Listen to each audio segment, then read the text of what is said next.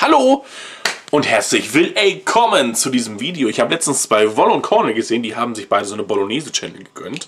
Und ich dachte mir so, ey, machst du mal mit? Ähm, vielleicht sieht deins ja schon mal besser aus wie das von Cornel. vielleicht lecker, keine Bolognese. Ähm, ich mache es auch nicht perfekt, möchte ich sagen. Und äh, ich mache es wahrscheinlich komplett komisch und dumm.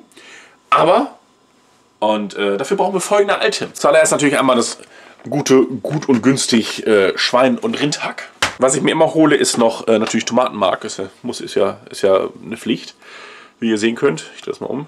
So, so rum. Ne? Tomatenmark. Ähm, ich hole tatsächlich auch mal das hier, weil das mit Würzgemüse dabei ist. Ich habe das auch schon mal anders probiert, aber das schmeckt scheiße. Dementsprechend habe ich immer, immer das hier. Ich esse die hier verdammt gerne, deswegen gibt es diese hier, die Tortellini. Tor Torte, Tortellini, egal, was auch immer. Wir fangen an.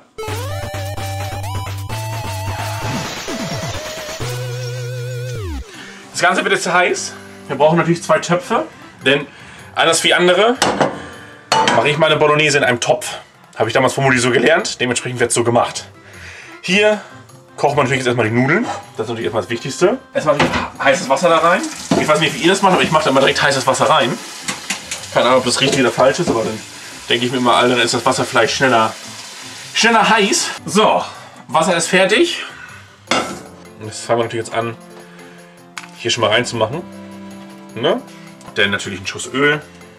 Und zwar bin ich zu faul, bin ich zu faul, um Zwiebeln zu schneiden und habe dafür extra so eine Trockenzwiebeln, die ich quasi immer hier reinmachen kann. Und dann fangen die an zu kochen. Wie ein junger Gott einfach das Hack oben rauf, ziehen dann das Papier natürlich noch ab davon und schon dreht unser Hack. Aber es soll natürlich nicht einfach nur braten und nach Hack schmecken, sondern ich mache immer, bevor das Hack dreht, mache ich immer ein bisschen Zaubergewürz darauf. Schön aufs Hack. Das Hackfleisch auch generell den Geschmack an sich schon annimmt.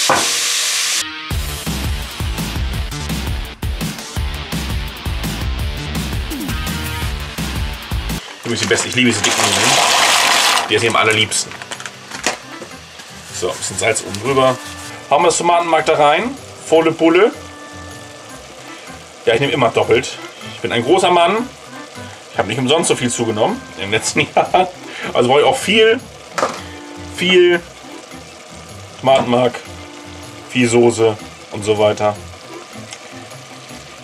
Ich habe erst überlegt, ob ich ein bisschen mit Sahne reinmache und so, aber das ist ja eigentlich nicht eine Bolognese, sondern das ist ja eigentlich eine, eine Sahnesoße.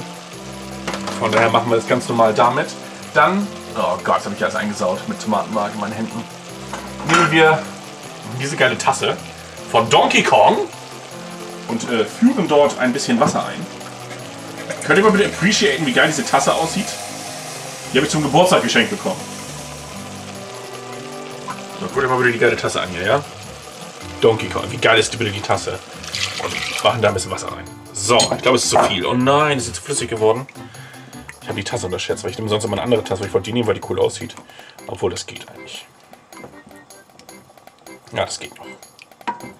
Obwohl, ah, ein bisschen dünn, aber ist nicht so schlimm. Die köchelt ja auch leider noch einen Augenblick. Dann wird die auch wieder ein bisschen fester. Also fangen wir an mit meinen ganzen Zutaten, die jetzt dazukommen. Ich habe extra so ein bisschen, bisschen was mitgenommen. Und zwar, was natürlich am wichtigsten ist, ist erstmal der Zucker. Dann machen wir Zucker da rein. Sollen wir echt aufschreiben, was davon was ist. Ich muss noch das Zuckerpaket holen, sehe ich gerade. Und das Ganze natürlich währenddessen schon ein bisschen um. Noch ein bisschen mehr Zucker da rein. So, und das langt dann schon. Okay. Jetzt würde ich eine Prise Salz.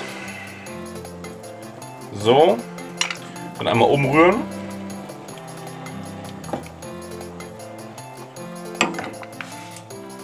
Nochmal Salz. Das langt auch. Dann natürlich auch ein bisschen Pfeffer.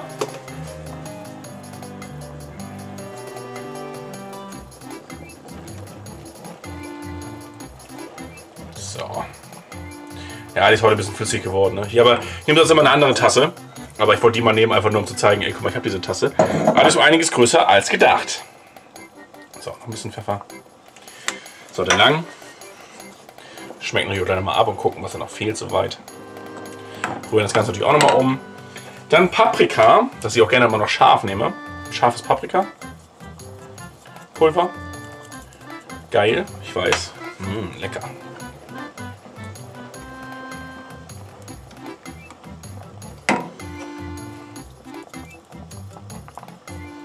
So. Wirklich nur ein bisschen Chili-Pulver. Bisschen Schärfe muss ja schon bei sein, sonst schmeckt das Ganze nicht. So, Basilikum eigentlich alle? Ah, scheiße, mein Basilikum ist alle, sehe ich gerade. Ah, hätte ich vorkaufen müssen. Egal, normal kommt eigentlich ein bisschen Basilikum immer noch mit rein. Dafür kommt heute ein bisschen Oregano dazu.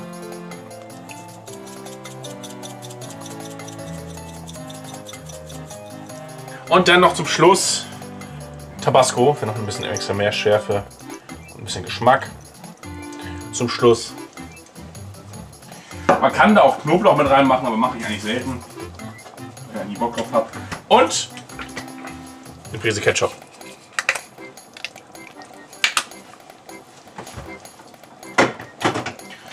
Und dann wird gleich probiert.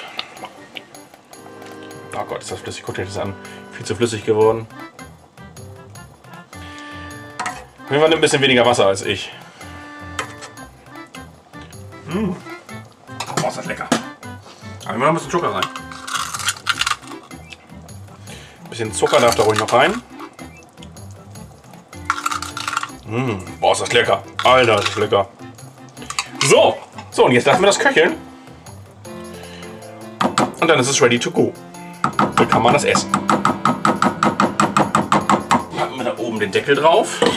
Lassen das Augenblick köcheln. So, währenddessen kann ich dann schon immer einmal den Müll wegpacken. Dubidu.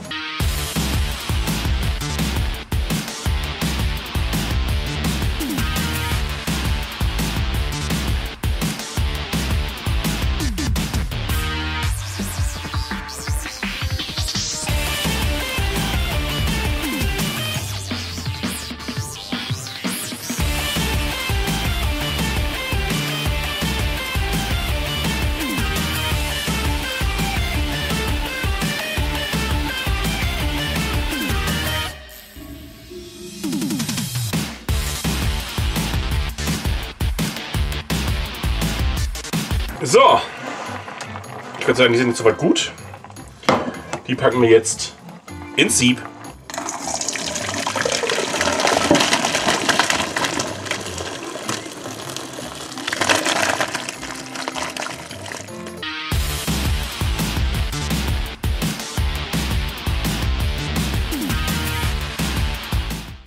Das sind die Nudeln.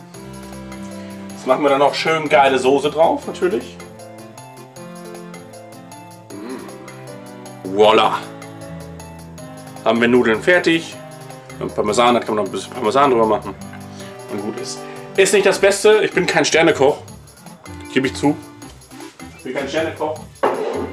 Aber mir schmeckt's. Ihr könnt es ja mal genauso machen, wie ich es gerade gemacht habe. Könnt mir sagen, ob es euch geschmeckt hat oder nicht. Ähm, vielleicht habt ihr auch bessere Tipps unten in den Kommentaren. Ich werde auf jeden Fall mal die Bolognese probieren. Dazu werden wir vielleicht auch noch ein Video machen.